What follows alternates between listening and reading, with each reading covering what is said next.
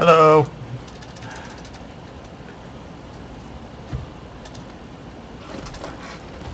So, can someone else just keep an eye on chat and poke me if anyone Yeah, I've got chat. asks me something? Okay. Hello. I want to do some mod. Okay. I'm logged in as a, a CSC. I think, also. You're welcome.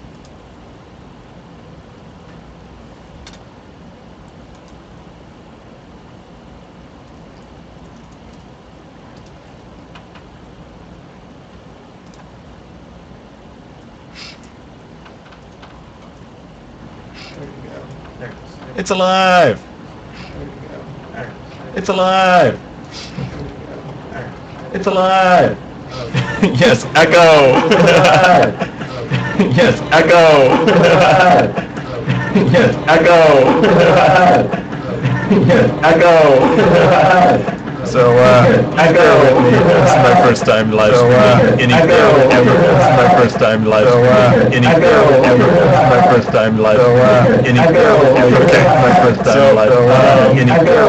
Okay, so I want to show everyone any first just okay. So I want to show everyone any first just okay. So I want to show everyone any first just okay. So I want to show everyone any first just okay. So I want to show everyone any first. I I don't have any setup. I I don't have any. Okay, how about now? Better. Much better.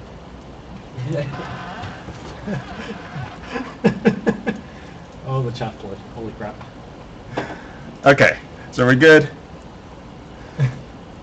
All right, yes. As I said, my first time ever live streaming anything. So, yes, you guys get to suffer.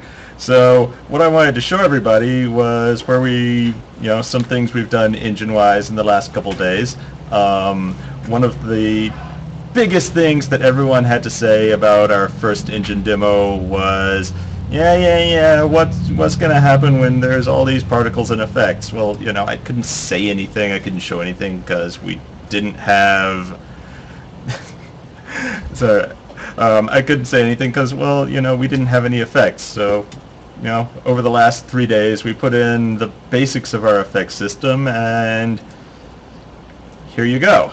So, um, it's the same, you know, 500 characters fighting each other, and, you know, every single sword has flames on it, and, you know, for the Viking, every time she attacks, uh, you know, every time she jabs with her pole arm, she, uh, you know, has little lightning going off. So, yeah, it's a lot of effects. It's a lot of, you know, all of the effects are going, and we're still running close, well, right over 200 frames per second.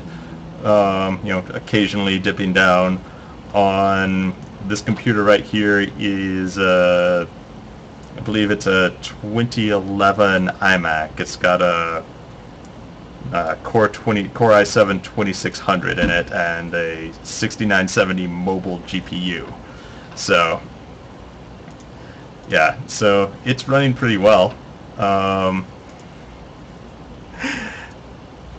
need more flaming ducks. So one of the things that you know we're doing with this is kind of to hit that hit our frame rates and all. This is actually it actually takes all the particle systems in the world and kind of folds them into one single Uber system that's updated dynamically across all your cores and the GPU. So, you know, we we're able to handle things like sorting in a really unified way and, you know, in general, just make it run well. Um, and, you know, because we are all about making things run fast with a whole bunch of characters. Um, I'm going to zoom in a little bit, slow things down, just so you can get a better look at it. Um, a lot of the particles were made, you know, all of the particle effects in this were set up by Mike Crossmeyer today, um, using mostly some of the sprites and things from March on Oz of all things. So, you know, if you're looking at the flames and thinking they look a little cartoony, that's, you know, that's where they came from, and this isn't really the look we're going to go for for the final game. Um, so, but at the same time, uh, you know, there's a lot of particles, there's a lot of effects, and it does what we need it to do. So, um, you know, any uh, questions? Anyone want to know about uh, engine stuff? Um, so, how much does networking, latency, and lag play into the frame rate? Um, here, I'll add in real quick. I will add in another.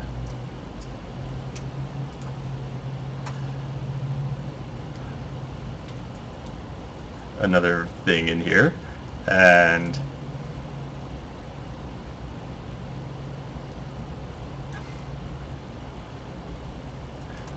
you can see we've got we've got CPU to burn.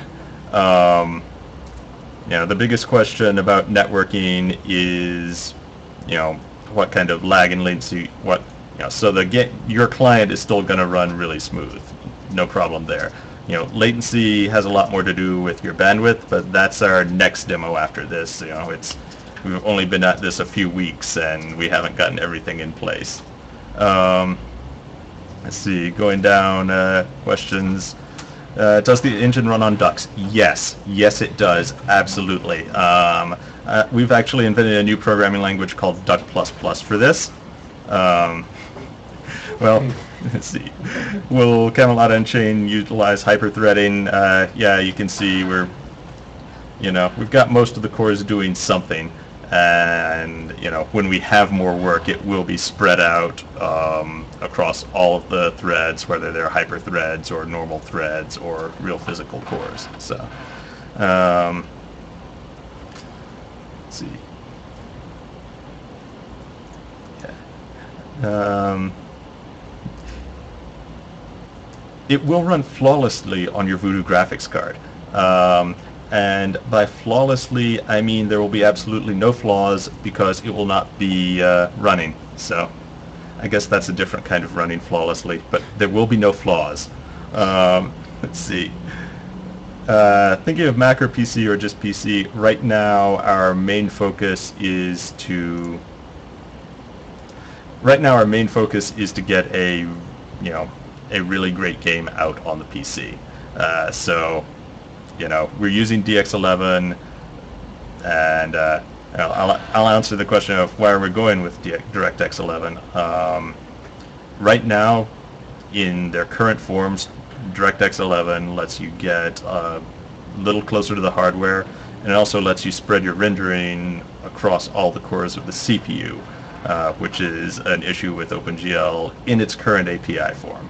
So, you know, if you want to max out your all of your CPU cores to handle your rendering, DirectX is pretty much your only choice on desktop hardware. So, um, it lets us make the fastest and best game for, you know, rendering a whole bunch of stuff, and that is our priority. Now, absolutely, Mac is a potential stretch goal for us.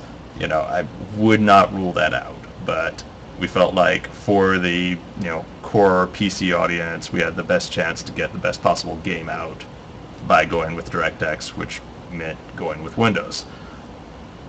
Um, let's see.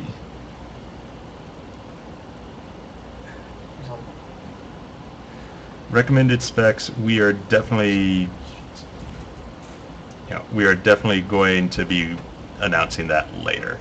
Um, you know, we, we need to get all of our final art and, you know, more more lighting to do. But, you know, the point is, you know, gameplay is going to come first. You know, we are we aren't going to add fancy environmental features that will compromise just the core getting a lot of guys running around at once. And, you know, there, there are tweakable knobs in the engine to turn things down, you know, turn off particles beyond a certain distance and things like that. So we'll do everything we can to get you, you know, as low as possible. Because, you know, a low min spec is kind of the flip side of, um, you know, a high frame rate. You know, if your frame rate runs at 400 FPS on a high-end system, then, you know, you'll probably run on a low-end system pretty well. Um, So let's see. Uh, 32 or 64 bit, uh, we haven't made any commitments. Um, you know, we're gonna if we can if we can fit everything in 32 bits, which I am fairly certain we will, and if you know, it'll come down to which runs faster, and we'll benchmark it both. Um, you know, we're definitely writing in a generic way that doesn't limit ourselves on that. Um, let's see, there zone loading. Um, I'm not going to rule it out. So we will, uh, you know, I, I can't promise an absolute 100% seamless world. You know, even World of Warcraft has sort of zone loads when you get